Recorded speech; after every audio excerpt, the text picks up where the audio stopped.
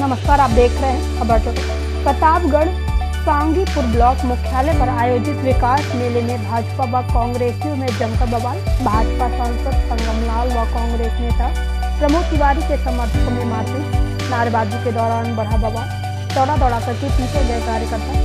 सुरक्षा कर्मियों के साथ पैदल भागे भाजपा सांसद संजम लाल संगम लाल गुप्ता। प्रशासन की लापरवाही से बढ़ा बवाल।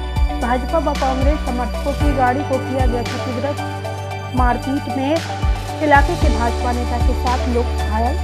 कार्यकर्ता में सत्ता पक्ष की हनक दिखाने के भड़का समर्थकों का गुस्सा। सरकारी कार्यक्रम में भी सत्ता पक्ष की हन दिखाने में नहीं, क्योंकि भाजपा ही खबर जगत के लिए एल एन सिंह की रिपोर्ट।